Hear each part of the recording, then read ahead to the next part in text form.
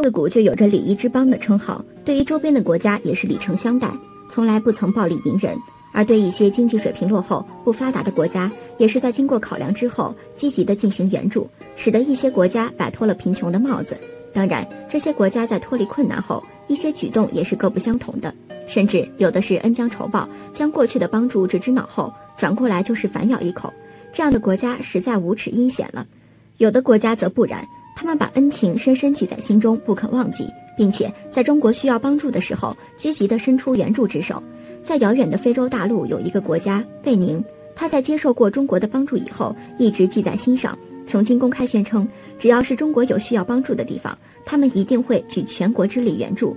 不管这句话实现的可能性有多大，但是毕竟一个遥远的非洲小国能够说出这样的话语，这就已经比那些恩将仇报的国家好多了。贝宁地处西非中南地区，总面积大约在十一万平方公里，和中国一个省大不了多少。全国人口仅有一千来万，因此不管是面积、人口还是距离，贝宁和中国都有着很大的差距，几乎没有人会把这两个国家联系在一起。但是这些差距却丝毫没有影响到两国的关系，两个国家依然拥有着深厚的友谊。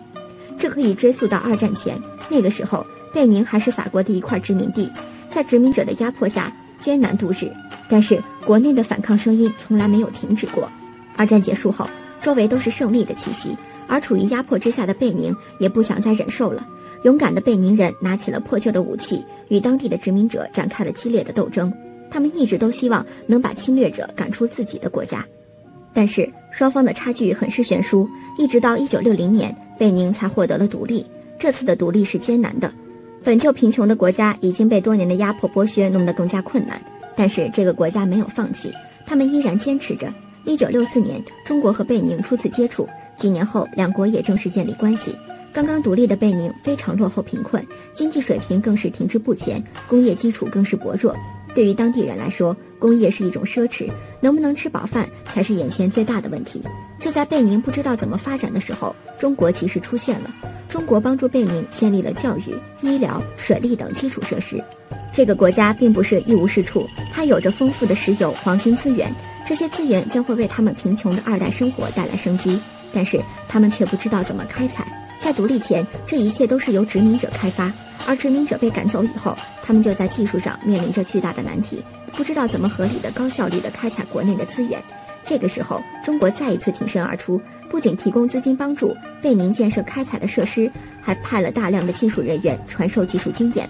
随着他们的进一步学习，他们也掌握了比较先进的开采知识，最终开采出来的自然资源也使得贝宁的经济水平不断提高。人们的生活状态也越来越好，并且中国还大力帮助贝宁开垦土地。